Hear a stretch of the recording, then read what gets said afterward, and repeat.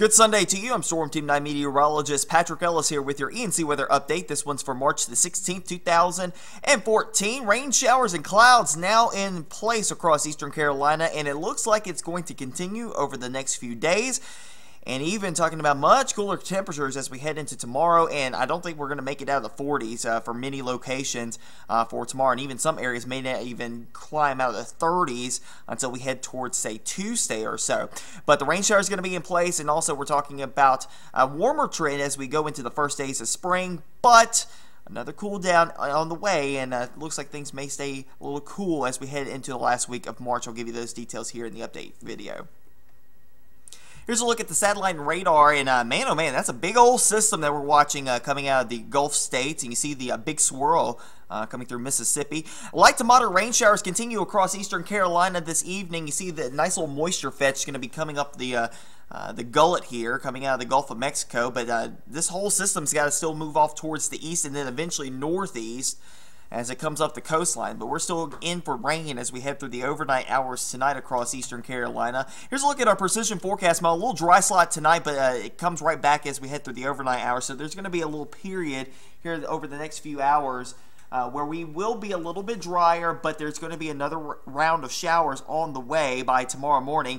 Uh, here's 7 o'clock, and once again, temperatures are going to start to slowly fall. We've been falling slowly through the afternoon hours. We're down to 45 now here in the metro.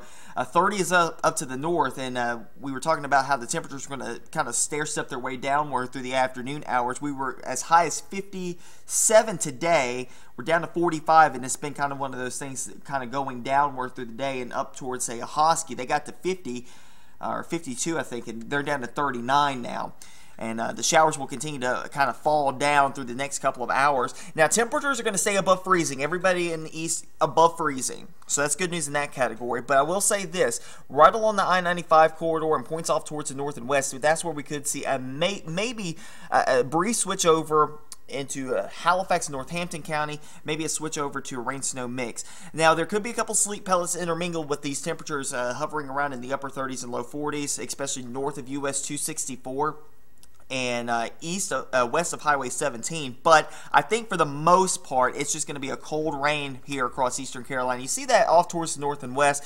Uh, they're going to be dealing with more ice, snow, and sleet uh, through the day. Now, there will be a lull in the activity through the afternoon hours tomorrow.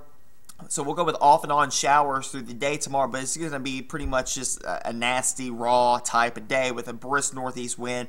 Uh, just not one of those days you really want to go out and do anything. Uh, temperature is going to be ranging from the 30s to near 40 uh, long and north of 64, along 264, low to mid 40s, south of 70, uh, low to mid uh, mid to upper 40s, maybe nearing 50 down along the coast. Uh, it really will depend on where you are. There's going to be about a 20 degree temperature swing across eastern Carolina tomorrow. Uh, and once again, off and on showers and back off to the west. That's where we could see again on Tuesday morning that chance for maybe a little bit of a rain, snow, sleet mix kind of intermingling at times. But the temperatures will kind kind of be buoying back and forth between the upper 30s and low 40s. I think mostly low 40s, uh, upper 30s and low 40s early Tuesday morning. But we do rebound uh, back to near 50 by the time we head into the afternoon hours of Tuesday, but once again, wide range of temperatures. It will depend on who you are, where you are, uh, what you see. You see down here towards New Bern and Jacksonville, we're approaching, we're at 50, 45 in Greenville. So once again, kind of depending on where you are is what you'll get. Now with the winds uh, coming more out of the north and northeast through the next couple of days, we could have some minor water pileups in the north faces of the uh, lower Neuse, the uh, lower Pamlico, and also the, Albemarle, the Albemarle Sound, the uh, Alligator River. Uh, so, needless to say, uh, there's going to be a little bit of piling up of the water. Not a big issue. We're not expecting a whole lot of, uh, uh of issues. And maybe some minor ocean overwash early, but this is going to be through Wednesday as we continue that brisk northerly and northeasterly wind that's going to continue to push the water into the southern side of the Pamlico Sound. All right, so what else are we looking at? So, Area of low pressure number one gets offshore. The second one comes into play as we head towards Tuesday. Again, uh, this one's going to be further offshore, so we're not going to be looking for as much of rain, but we could still see hit or miss showers on Tuesday underneath the clouds. And I don't think the model's really picking up on that, but there will be hit or miss showers on Tuesday. Highs nearing 50, and then we head into Wednesday.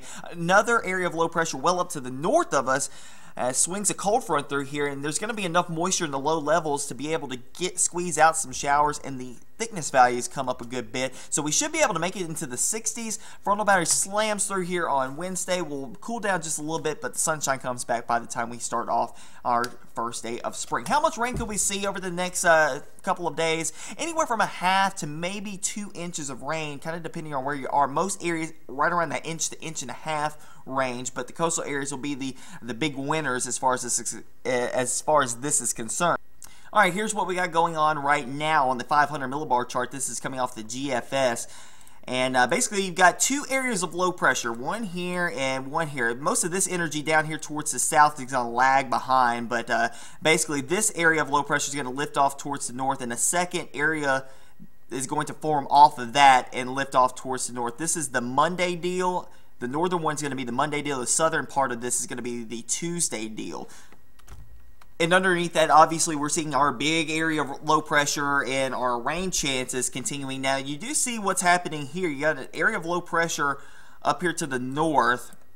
It's rotating counterclockwise. Another one down here towards the south that is also rotating counterclockwise. Uh, basically, what's going to end up happening, you have high pressure trying to ridge down from Canada uh, up here. Basically, what's going to happen, everything's going to wedge down here along the Appalachians, and that's going to give us another CAD setup, a cold air damming setup. And that's why we're talking about that potential deep inland along the I-95 corridor and points off towards the west of ice and snow, and also into Virginia. They're really going to get in on, on the ice and snow. They do have winter storm warnings up for them, but for us, it's just not going to be anything like that.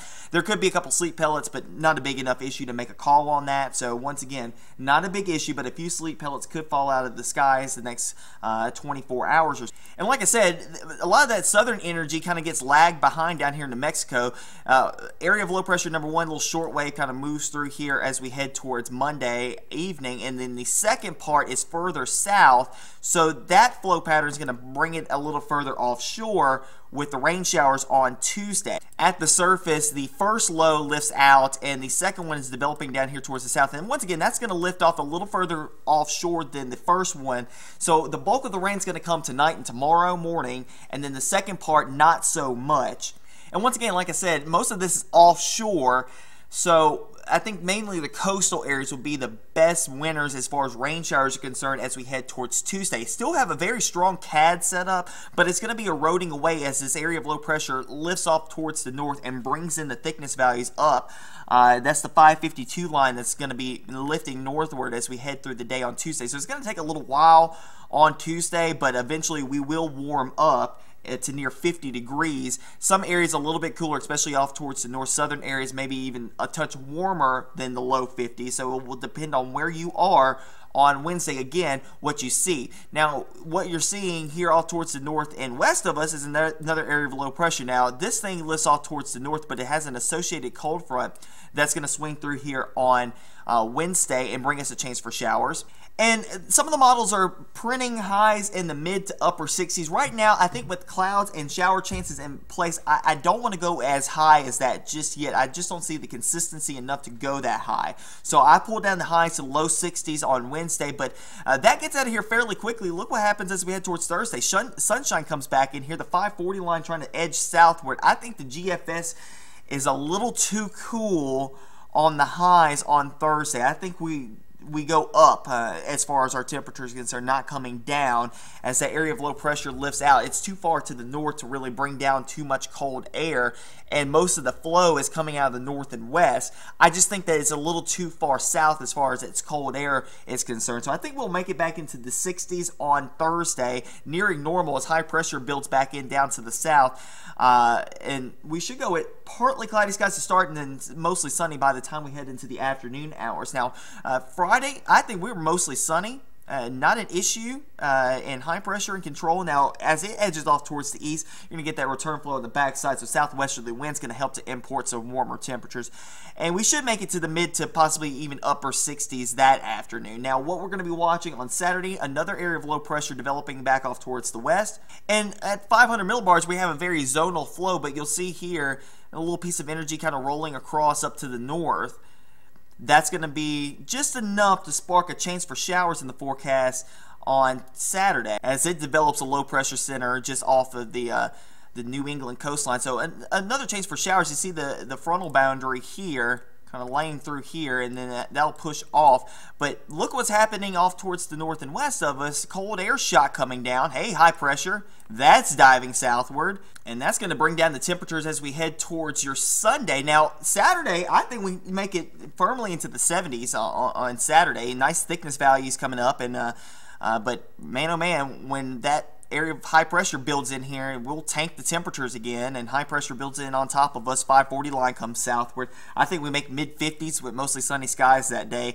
Then we head out towards monday and again it looks like it's going to be another cold shot as we head towards the first portion of next week but uh, watching some moisture coming out of the south but that should stay down to our south as the high pressure ridges southward across us. So we should stay dry out of that but what we'll be watching is more so the cold air intrusion. And again i just just don't see, looking at the ensemble members, just enough of a good signal for a warm air blast that just stays around. I mean, that's Sunday, and that's what we're talking about the temperatures tanking again, is that those, uh, those 850 temperatures come down and crash again.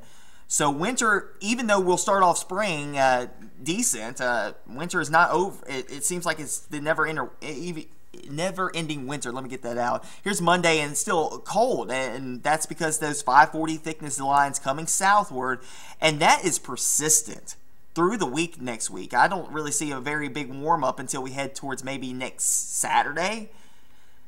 And even that's a long way out there, and a lot can change in that time period. That's going to do it for me here on the ENC Weather Update. You can stay up to date with us Facebook, Twitter, WNCT.com, and our brand new Storm Team 9 app in the Google Play Store and the Apple App Store. Have a great rest of your evening, a great day tomorrow, and a great weather week ahead.